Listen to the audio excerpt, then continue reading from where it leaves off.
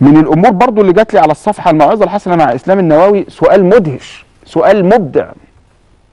الحور العين اللي الناس معلقة دماغها بيها يعني. إحدى الفضليات قالت لي إن القرآن يا شيخ بيقول إن الرجالة لهم في الآخرة الحور العين. ماشي حاضر. طب إحنا لينا في الآخرة إيه؟ فرحت كاتب لها كده بكل بساطة. ما لا عين رأت ولا أذن سمعت ولا خطر على قلب بشر.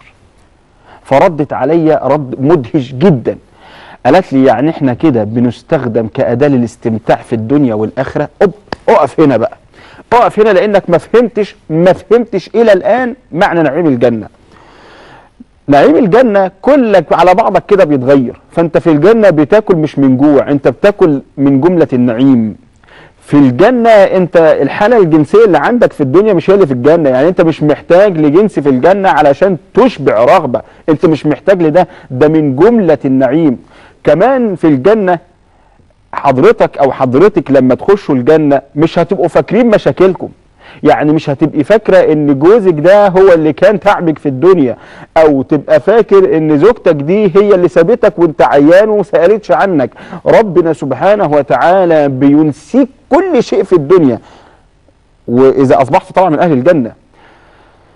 في تعاليم يعني في مشاهد الآخرة ربنا سبحانه وتعالى يريد أن يطلع الناس على قيمة الجنة والنار. يعني الجنة والنار دول ظروفهم إيه؟ كانوا يستحقوا اللي إحنا بنعمله في الدنيا ولا ما يستحقوش. فيأتي ربنا سبحانه وتعالى بالناس بالجنة والنار للناس كأنهما رأي عين. شوفوا الجنة والنار قدام عينيهم. ثم يأتي بأكثر أهل الأرض شقاء أو ابتلاء في طاعة الله. فيغمسه غمسة في الجنة. ثم يسأله هل رأيت فيها شقاء قط؟ فالعبد يقف كده ويقول يا رب لا. ينسيه الله تبارك وتعالى كل شقاء وكل تعب وكل ألم فيا جماعة أنتوا موضوع النعيم في الجنة الناس لازم تفهموا إن ده نعيم غير النعيم بتاع الدنيا. مش هاكل عشان أنا جعان مش هيبقى عندي أزواج لأن أنا محتاج زوجة. مش هيبقى ده هو من جملة الترف ونرجع ونقول أن الله تبارك وتعالى أعد الله أعد لعباده المتقين في الجنة ما لا عين رأت ولا أذن سمعت ولا خطر على قلب بشر. من غير ما نخش في تفاصيل.